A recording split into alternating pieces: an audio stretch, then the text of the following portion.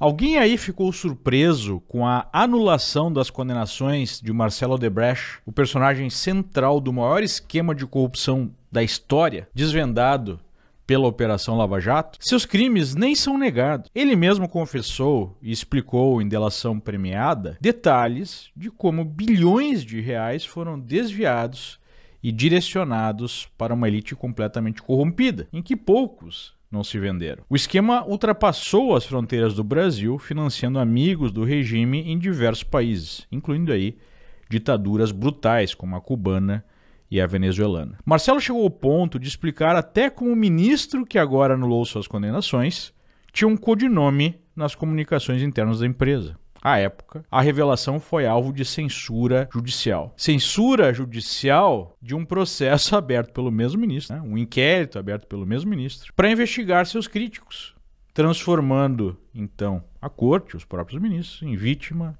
investigador, acusador e julgador ao mesmo tempo. E agora esse ministro decidiu que o Marcelo Debrecht devia ter suas condenações anuladas porque houve violações ao devido processo legal. Diego Escostegui, um jornalista que cobriu com profundidade a Operação Lava Jato, resumiu, aspas, a decisão de Toffoli que anula todos os processos da Lava Jato contra Marcelo Debrecht é um deboche de repercussão internacional. Agride os neurônios de quem perde tempo analisando-a. Não há mais o que dizer juridica juridicamente. Sobra apenas o escárnio. Fecha aspas. Na verdade, né, desde que Lula foi descondenado e alçado à presidência, ficou claro que a sociedade brasileira colapsou. É preciso reconhecer que falhamos como país. Quanto mais cedo os brasileiros bem intencionados reconhecerem o colapso moral, político e legal do país, maior a chance de iniciarmos um processo de refundação e reconstrução. O sistema deixou claro que está comprometido com a sua sobrevivência através da repressão.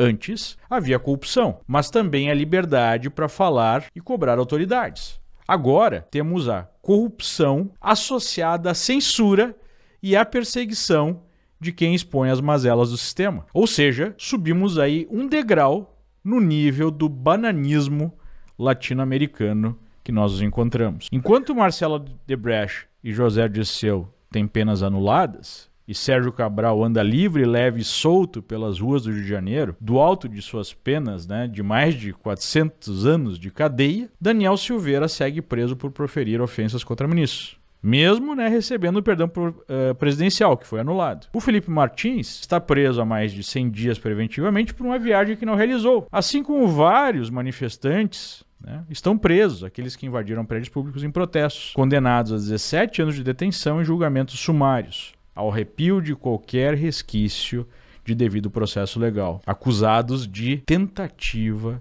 de golpe de Estado. Milhares de brasileiros seguem censurados um escândalo que chegou até mesmo ao Congresso americano. Agora temos o advogado-geral da União chegando ao ponto de processar críticos do regime por ofensa à honra e à imagem da União. A mensagem é clara: quem continuar apontando o dedo para o sistema será censurado, perseguido e até mesmo preso. Antes, éramos apenas um país corrupto e pobre. Agora, além disso, somos também uma ditadura escancarada. Nada disso me impressiona. O que realmente gera espécie é o nível de tolerância do povo. Há três tipos de pessoas que silenciam ou apoiam o atual regime. Número um, os idiotas úteis são aqueles que acreditam nas mentiras e manipulações promovidas pelo sistema, com a balela da defesa da democracia, representada pela alçada do descondenado Lula à presidência. Ou quem acredita no combate às fake news. Foram décadas de lavagem cerebral promovida pela academia, pela cultura e pela imprensa,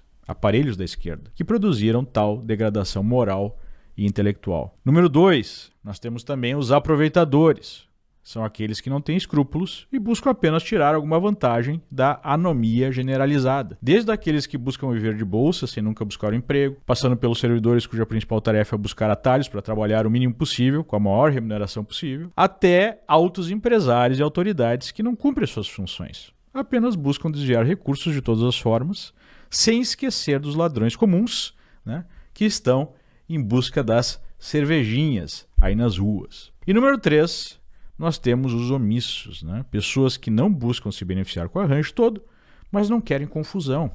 baixam a cabeça e fecham os olhos para tocar a sua vida, torcendo para que o sistema não atravesse seu caminho em algum momento. Martin Luther King falava que o problema do mundo não residia primordialmente na ação dos maus, mas no silêncio dos bons. Do outro lado dessa luta, temos milhões de brasileiros honestos, tanto na iniciativa privada quanto no setor público, que buscam fazer o que podem para mudar o deplorável estado das coisas. É nesse grupo que reside a possibilidade de dias melhores. É um processo que iniciou em 2013. Parte da sociedade brasileira acordou e, por algum tempo, parecia que o Brasil caminhava para uma refundação, passando pela prisão e afastamento da vida pública dos piores corruptos e de um projeto totalitário de poder. Infelizmente, não foi o caso. O sistema se reorganizou para retomar o controle da situação, protegendo os seus e iniciando uma perseguição contra os dissidentes. O projeto totalitário está sendo implementado de forma acelerada. O único lado positivo dessa história toda é que a situação não pode ser mais clara do que essa. Não dá para alegar né, ignorância, dado aí o tamanho das provas, das evidências de tudo que está acontecendo. Como afirmava Alexander Solzhenitsyn, nós sabemos que eles estão mentindo. Eles sabem que estão mentindo. Eles sabem que sabemos que eles estão mentindo. E sabemos que eles sabem que sabemos que eles estão mentindo, mas mesmo assim eles seguem mentindo. E diante né, de tudo isso, nós tivemos ontem uma decisão que surpreendeu muita gente. Havia um processo de cassação do mandato do ex-juiz Sérgio Moro, responsável por essas condenações que agora foram anuladas, e ele foi poupado. Né?